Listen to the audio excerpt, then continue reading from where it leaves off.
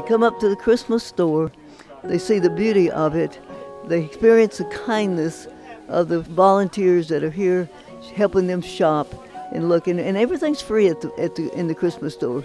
And so they get the chance to see what God has done. And like the one lady said, I cannot believe God would love me this much that He'd take such good care of my children.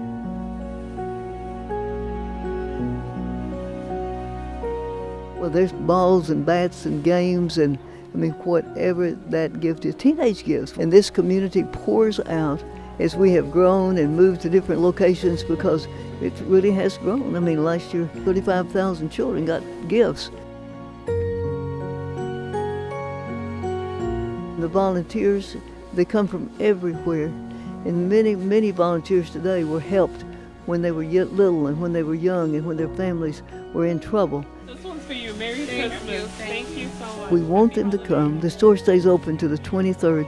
But to be honest, at Mission Arlington, it's Christmas 365 days of the year.